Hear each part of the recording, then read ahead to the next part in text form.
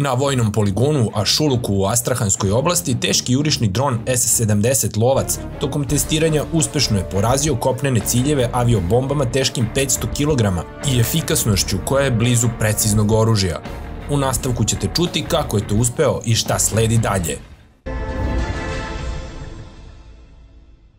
Analiza iskustva vojne primene bespilotnih letelica u svetu prepoznala je zadatke koje one mogu da reše i podelila ih u tri osnovne grupe – strateško i operativno izviđanje, taktički nivo zadataka po dubini ne veći od 120 km od linije fronta i operativno-strateški zadaci na udaljenosti do 1000 km.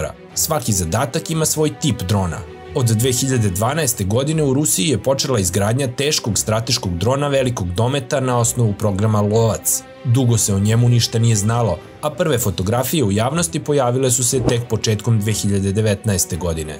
Po meri pristizanja podataka o njemu bilo je jasno da je reč o aparatu čija je uzletna masa 25 tona, raspon krila 19 metara, dužina 14 metara i borbeno opterećenje do 8 tona, što je gotovo 5 puta više od američkog konkurenta MQ-9A Reaper.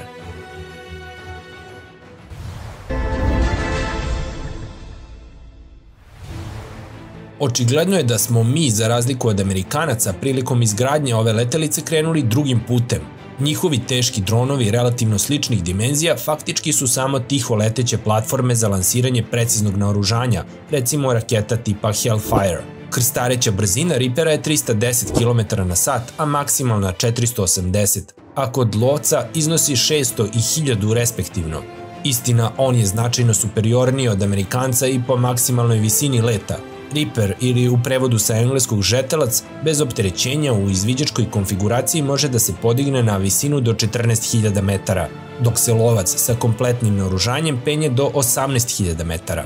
Važno je istaći da rezultati bombardovanja na poligonu Ašuluk govore da je lovac po svoj prilici bio opremljen nišansko-navigacionim sistemom SVP-24 Hefest, o kome smo već dovoljno govorili i koji je svoju efikasnost potvrdio u Siriji,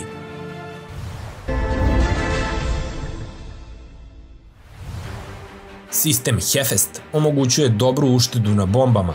Uporedite osnovno naoružanje žeteoca, raketu AGM-114 Hellfire, koja košta 66.000 dolara po komadu, sa običnim aviobombama OFAB 500 koje koristi lovac, a koje koštaju oko 4000 dolara za komad.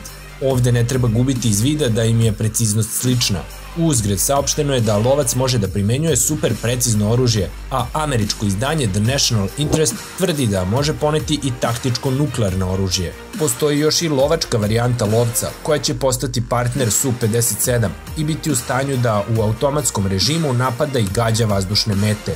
U planu je da se u drugoj polovini 2021. godine obave njegova terenska ispitivanja. Očekuje se da će do 2024. godine krenuti serijski isporuke lovca ruskoj armiji, a već sada možemo da kažemo da će ova letelica još dugo ostati neprevaziđena. Sličan američki program izgradnje teške bespilotne letelice Northrop Grumman X-47B ukupne vrednosti 813 miliona dolara započeo je 2011.